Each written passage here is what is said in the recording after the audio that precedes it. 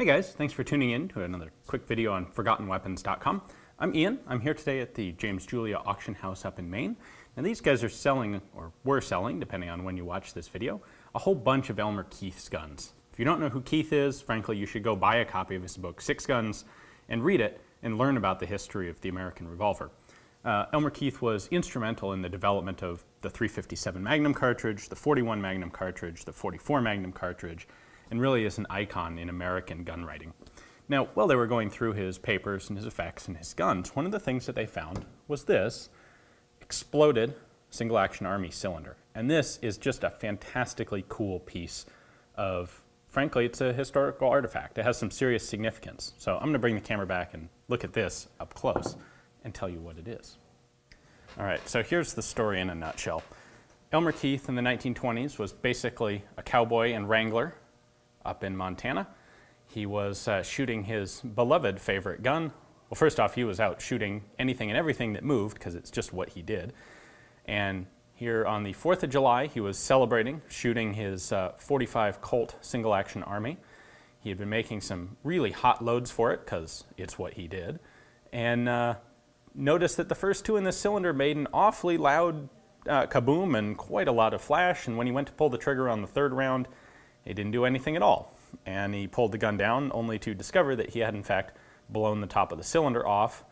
Uh, here are here is the last cartridge that uh, was fired out of this gun. Didn't hurt himself in the process, fortunately, but uh, ruined the revolver, definitely ruined the cylinder here. He ended up writing a letter to American Rifleman asking, you know, trying to figure out exactly why this had happened and what he could do to prevent it. Uh, besides, of course, from using factory ammo, which is what he did not do. So the upshot of this was he ended up switching to 44 Special. Um, the revolvers made in 44 Special had significantly thicker case walls that could withstand much higher pressure. And uh, give him a couple decades, and presto, after badgering the firearms industry long enough, the result is the 44 Magnum cartridge, which is almost entirely due to Elmer Keith's patronage and, and constant experiments and advocacy. So this is just a fantastic piece of firearms history. This is, in fact, the accident that led over time to the 44 Magnum. Uh, so what can we learn from this thing? I think there are a couple things. First off, nobody starts out perfect. When Elmer Keith did this, frankly, he made a whole bunch of what we would consider today to be ridiculously novice mistakes. He was trying to hot rod 45 Colt. He was using a single action army, which is well known today, largely thanks to Elmer Keith, to really not be strong enough. The cylinder walls aren't strong enough to run really hot loads of 45 Colt in a single action army. Uh, in order to, to do his hot loads, he was trying to find particularly heavy bullets. He ran out of, of weights that he was happy with uh, in the standard .454 diameter bullets designed for 45 Colt. So what he switched up to was bullets designed for the 4570. They're still 45, but 4570 is a .458 bullet. It's significantly larger in diameter, and that's definitely a contributing factor as to why this cylinder exploded on him. The bullets were too big. It spiked pressure.